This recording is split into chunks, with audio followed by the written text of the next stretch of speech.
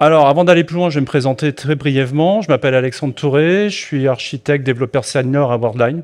À Worldline, euh, si vous ne connaissez pas, on est l'un des principaux opérateurs de paiement en Europe. Et moi, je suis Tours, j'étais encore ce matin d'ailleurs, je suis arrivé ce matin. Et euh, voilà, pour aller très rapidement, euh, vous pouvez me suivre via ces pointeurs. Avant de vous présenter les katas d'architecture, je vais vous raconter l'histoire d'un développeur. Alors bien évidemment, toute ressemblance avec des personnes existantes ou ayant existé est purement fortuite. Je vais vous présenter l'histoire de Georges. Alors Georges est développeur, back-end, front-end, peu importe, full stack, voilà. Il s'éclate bien dans la technique, il fait de la conception, il s'intéresse à tout ce qui est par exemple architecture hexagonale, conception, DDD, etc. Il fait des tests, pas mal. Et à un moment donné, Georges, ben, il se retrouve un peu à la croisée des chemins. C'est-à-dire que ben, quand on a un certain âge, on y arrive tous à un moment ou à un autre. Hein. On se dit, voilà, est-ce qu'il faut continuer dans le développement? Est-ce qu'il faut aller vers la, euh, je sais pas, vers le fonctionnel, vers la, gestion de projet, vers le management, etc. Euh, ben, Georges, il aime bien la technique, mais il a envie d'aller un peu, d'aller voir un peu plus loin. Et là, il se dit, tiens, j'ai découvert un truc, ça a l'air intéressant, c'est l'architecture. Bon, l'architecture, ce qui est assez bizarre, c'est que d'une société à l'autre, on n'en a pas la même définition, on n'a pas les mêmes attentes. Alors d'un pays à l'autre, je ne vous en parle même pas. Et là, il trouve une définition assez intéressante, c'est celle de Grady Butch, qui, bon, c'est l'un des inventeurs du ML, hein, qui nous dit clairement que l'architecture, c'est de la conception, mais qui représente les décisions significatives qui permettent de construire un système. Quand on dit significatif, on est vraiment dans le coup du changement. Un exemple, euh, si, on reporte ça au bâtiment, euh, bah, vous êtes plus dans l'étude de sol, vous êtes dans le choix des matériaux, vous êtes dans l'orientation de la maison, vous n'êtes pas dans la couleur du papier peint. Je ne dis pas que ce n'est pas important, mais on n'est pas sur cette même échelle de valeur. Et là, ça y est, Georges, ben, euh, donc il en a parlé à ses managers, on lui donne une formation publique, architecture for newbies, et ben, on le met dans une équipe dans une équipe de dev. Alors ça peut être soit dans un projet Greenfield, soit dans un ajout d'un module et tout, peu importe, c'est pas trop grave. D'après vous, comment ça s'est passé sa première expérience? Alors, qui pense que ça s'est bien passé, lève la main. Bah, voilà. Qui pense que ça s'est mal passé? Alors mal passé, bon, il a pu dire, ouais, on, est à peu près tous d'accord. Bon, je dirais que ça s'est mal passé, et alors, il a pu arriver, mais il a, peut-être aussi cramé beaucoup d'énergie aussi. Hein. c'est pour ça que ça peut être aussi mal passé. Et je dirais que c'est normal. Clairement, il manquait d'expérience, il manquait peut-être de feedback aussi, il manquait peut-être de mentoring, parce que euh, être euh, parachuté comme ça dans une équipe de dev, dit ça y est, c'est toi l'architecte, bon, on n'est pas forcément tous préparés. Quelque chose qu'il n'a pas découvert et qu'il n'a pas anticipé, c'est que déjà, bah, on est un peu le chaînon manquant entre les développeurs d'un côté, de la gestion de projet, le management, la production, peut-être le côté réglementaire si on fait du PCI DSS ou des choses comme ça. Bref, on est au-delà au-delà juste du framework et on est au-delà de l'IDE. Un truc aussi qu'il n'a pas anticipé. Et là, euh, clairement, euh, moi, ça m'est arrivé, c'est que notre raisonnement est biaisé. Si vous êtes développeur, bah, vous allez penser comme un développeur. Et vous allez proposer des solutions qui sont simples, mais côté développement. Par contre, ce qui est simple côté développement n'est pas forcément côté production. Et ça, on ne l'anticipe pas forcément. Alors, j'ai un peu trollé sur les formations. Maintenant, il y a de très bons livres qui existent, hein. clairement. Euh, moi, à chaque fois, on me pose la question. Moi, je vous conseille d'abord ces deux-là. Euh, le premier, ça, c'est le livre que j'aurais adoré voir, avoir lu il y a une dizaine d'années. Hein. Ça aborde à la fois le côté technique, mais aussi la posture de l'architecte, du concepteur dans une équipe. De même que le livre de Simon Brand, celui qui a créé le modèle C4, j'en parlerai un peu euh, par la suite. Et en faisant ce constat, bah, Ten Neward, l'inventeur des katas d'architecture, l'a dit. Il a fait le constat, dit comment on peut avoir au final de bons architectes, de bons concepteurs, si on fait de la conception, de l'architecture, qu'une demi-douzaine de fois dans sa carrière? Et c'est ce qui est arrivé à Georges, au fait. Alors, il y a des gens qui ont trouvé, euh, trouvé une bonne recette, c'est dans les arts martiaux. Je ne connais pas grand-chose en arts martiaux, donc j'ai fait confiance à Wikipédia, qui nous dit bah, que les katas d'architecture, ce ne sont ni plus ni... Enfin, les katas, pardon, dans les arts martiaux, ce sont ni plus ni moins que de la transmission technique d'un combattant à un autre combattant. On est vraiment dans l'empirique, on n'est pas dans du théorique. Et c'est basé vraiment sur de l'expérience.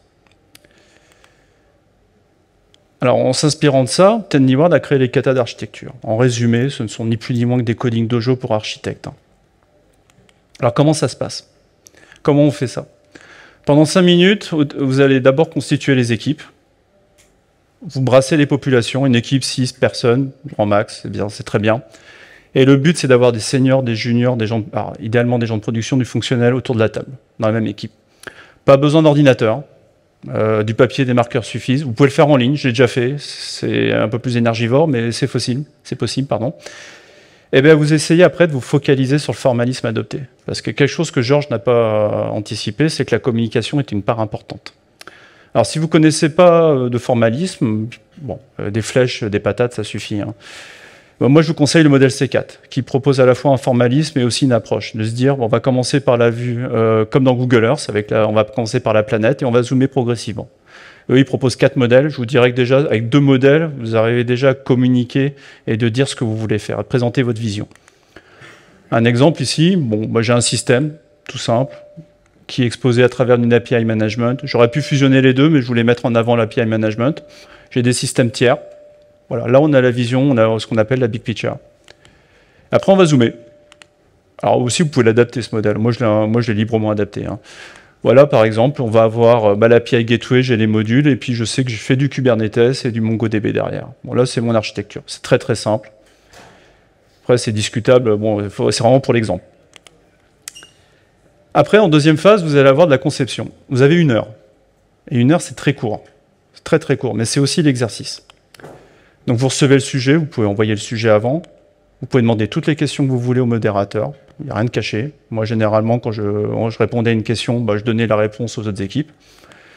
Vous pouvez prendre des hypothèses aussi, vous pouvez prendre un postulat de départ, et vous pouvez utiliser toutes les technologies que vous voulez. Hein. Vous voulez faire de la blockchain, euh, du deep learning, sur du Kubernetes, libre à vous. Par contre, il faut que ça soit explicable, il faut que ça corresponde aux besoins. Alors, un exemple de kata que vous pourriez avoir. Euh, donc là, on est en France. Les collectivités territoriales veulent rénover leurs routes, mais elles, ont moins en moins de moyens. Et elles souhaitent utiliser les capacités des voitures connectées, avec la puce 4G et différents capteurs. Et elles veulent avoir des rapports dynamiques à la journée pour dire telle route fortement utilisée, très cabossée, elle est en priorité haute dans ma rénovation. Et inversement, une route faiblement utilisée, bon, ça ira en priorité basse. Et là, j'ai juste un élément de volumétrie. Alors comment procéder? Si vous n'êtes pas un peu rompu à l'exercice, moi je vous donne quelques conseils. Après, ça, vous pouvez le transposer aussi euh, dans vos projets. Déjà, clarifier le besoin. Quand vous arrivez, c'est pourquoi une nouvelle application? Identifier les chiffres clés. C'est très très important. Et zoomer progressivement. Commencez déjà par le fonctionnel, la vue très très haute, et après zoomer avec, euh, euh, vos différents équipiers, équipières. Alors voici un exemple de, conception que vous pourriez avoir. Alors là, je l'ai fait euh, très rapidement. Je n'ai pas, pas, trop de temps, donc je vais pas non plus euh, tout le détailler. Mais on a euh, la voiture, l'utilisateur, on a notre système qui analyse et qui fournit des dashboards. Et bah, j'ai choisi d'utiliser de l'open data pour récupérer et faire mon propre référentiel. Et là, si on zoome, bah, on voit qu'on va avoir les différents modules. Alors, vous pouvez voir, je me suis fait plaisir. Hein. J'ai mis du MQTT à côté, du Kafka, du Scala, du Postgre. On a un batch qui va récupérer, qui va mettre en cache le, référentiel des routes. Et là, j'ai choisi de préformater les, les dashboards, de ne pas le faire en live, pour des raisons de performance. Et j'ai pris aussi un postulat de départ. Je me suis dit, bah, tiens, les zones blanches, je ne vais pas les traiter, je vais faire juste un simple rejeu. Parce que pour moi, ça va suffire. À l'issue de cette conception, bah, vous allez devoir présenter votre vision. Vous allez dire, bah, voilà, ma conception, voilà ma solution, et pourquoi c'est la meilleure? Et vous allez la présenter aux autres équipes. Et là, rien que ça, vous allez pouvoir confronter les avis, confronter les opinions et les manières de penser. Alors, comment évaluer une, architecture? Moi, je vous propose trois caractéristiques. elles sont personnelles, vous pouvez avoir les vôtres. Hein. Déjà, commencer très simple, plus simple possible. Euh, plus simple, ça sera en développement, plus simple, ça sera en production. Pensez à l'évolution, par contre. Là, on va parler de minimum viable architecture, minimum viable product, etc. Là, on voit que cette, architecture-là, c'est un défi d'architecture. Je vous mets au défi de mettre une véranda quelques années après. Et il faut que ça soit adapté aussi à votre environnement. Là, cet exemple-là, par exemple, c'est un hôtel qui est à Las Vegas, très bien incurvé, sauf qu'il est en face. Euh, il concentre tous les rayons du soleil et il est réfléchi dans la piscine. Là, on voit qu'une architecture qui est très bien faite, mais elle n'est pas forcément adaptée euh, à l'environnement. Alors, à Wordline. Euh, nous, alors avant le Covid, euh, on avait mis en place des katas mensuels. C'était euh, donc on se réunissait entre midi et deux avec des sandwichs, voilà, et on travaillait dessus. On a contextualisé et complexifié au fur et à mesure. On a commencé avec des sujets un peu bateaux, mais on l'a contextualisé et on l'a complexifié au fur et à mesure. Et aussi on l'a contextualisé. C'est-à-dire qu'on a fait des post-mortem. On a dit tiens, telle architecture, telle application, on l'avait mise en production il y a quelques années, comment vous feriez? Les résultats sont intéressants. Et on a des équipes qui l'ont personnalisé aussi. C'est-à-dire qu'au lieu de dire on va prendre un sujet différent à chaque kata, ben, on va prendre plutôt, on va faire, euh, tiens, euh, cette pause déjeuner là, on va faire euh, la, vue fonctionnelle, l'autre pause, on va faire la vue applicative, etc. Alors les bénéfices que vous pourrez en tirer. Déjà, travailler en équipe sur un nouveau sujet, c'est rafraîchissant, ça vous, sort, ça vous sort un peu du quotidien. Vous allez pouvoir aussi apprendre à identifier, à vous adapter aux contraintes. C'est des choses qui me manquaient à Georges. C'est des choses qu'on n'anticipe pas, qu'on n'a pas l'habitude au début quand on démarre dans, ce métier-là. De même que communiquer et convaincre. Pour moi, c'est limite la moitié du job. Hein. Euh, et après, grâce au kata, vous, vous appréhendez d'autres manières de penser euh, et vous progressez grâce à ça, grâce à l'expérience de vos collègues. Alors, si vous voulez aller plus loin, moi, je vous conseille déjà ces deux premiers sites de Neil Ford et un autre site qui référence plein de listes de kata, plein d'exemples. Euh, vous pouvez piocher dedans, il n'y a pas de souci. Euh, de même que là, c'est notre site d'ingénierie euh, à Boardline. On avait fait un feedback là-dessus. Et je terminerai cette présentation par Georges. Bah, Georges, il va faire des katas après, parce que bah, ça s'est mal passé. il, va, va prendre en expérience, il va prendre en qualité et il va, il va bénéficier de l'expérience de ses collègues. Et du coup, il va découvrir que, bah voilà, un grand architecte, il ne se développe que par la pratique. Écoutez, merci beaucoup. Si vous avez des questions, euh, il me reste 4 minutes.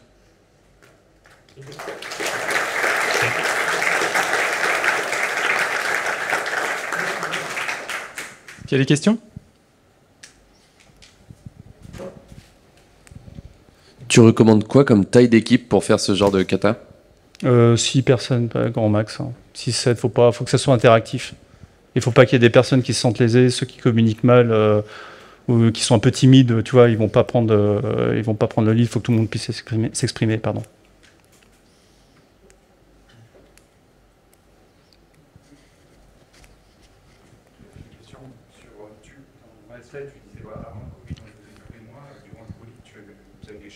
Ouais, on a fait, il y a des équipes qui l'ont fait en ligne, en fait. On a, on a, commencé à le faire en ligne, mais c'était un peu plus, tu vois, j'avais accompagné des équipes. Euh, c'était moins régulier, on va dire. Avec le Covid, ça a changé quand même pas mal de choses, quoi, malheureusement. Oui, bonjour. Euh, j'imagine que ça a fait changer euh, la vision que les collègues avaient de l'architecture. Est-ce que c'est un des, points positifs de, de, ces katas Oui, oui, oui, et puis même l'un des points positifs, c'était de discuter aussi avec d'autres personnes qu'on n'a pas forcément l'habitude et de voir leur vision de voir la personne. Euh, il y avait des juniors, des développeurs qui étaient avec euh, des architectes un peu seniors, architectes entreprises, même des personnes de production. Ah, tu vois, ça, permet de phosphorer ensemble en fait.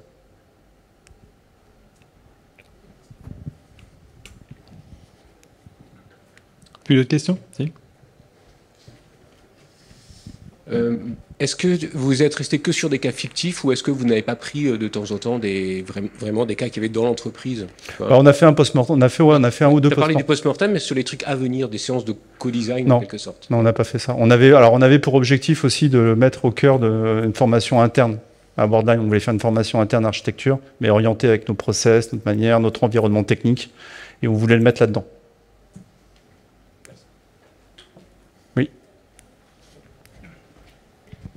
Est-ce que c'est adaptable quand on n'a pas d'architecte dans l'entreprise Oui, bah, si tu penses, oui, complètement. complètement.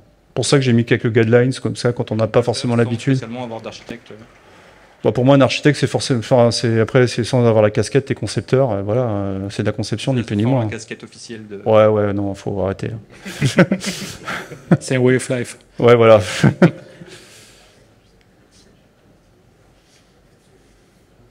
c'est bon? C'est bon alors. Ah, merci, beaucoup.